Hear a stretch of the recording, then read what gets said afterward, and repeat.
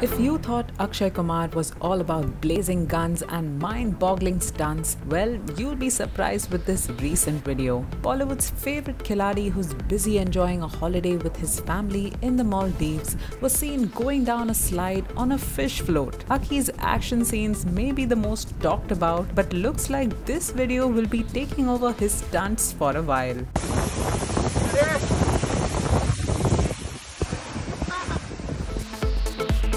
Video, Akshay seems to struggle with balance as the fish float is too small. In the caption, Akshay revealed that the float in fact belongs to his daughter Nitara. Last day of the holiday, guess who insisted I slide down using her favorite fishy and had a good laugh, Akshay wrote as he shared the hilarious video.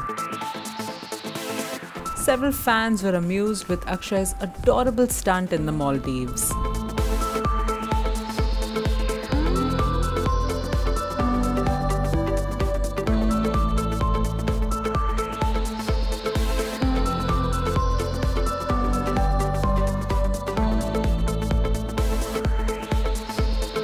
Earlier, Akshay shared a heartwarming picture of himself with his wife Twinkle Khanna while holidaying in the Maldives. Akki shared the picture and wrote, Happy place is equal to happy face. We are grateful for this getaway in the middle of a pandemic.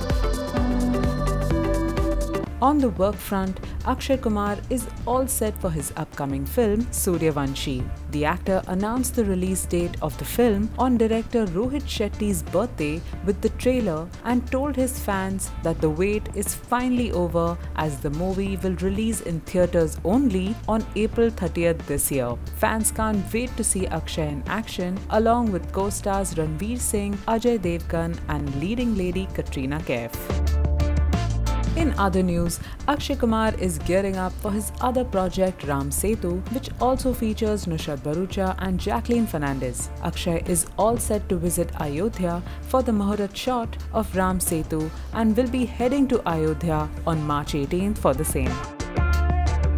Previously, Akshay shared a picture from the script reading session and wrote, The team that preps together excels together. An extremely productive script reading session with the team of Ram Setu this evening. Can't wait to begin filming this one. Akshay, who was last seen opposite Kiara Advani in Lakshmi, which released on an OTT platform, will also be featuring in several other big projects like Atrangi Bell Bottom, Bachchan Pandey, and Filhal Part 2.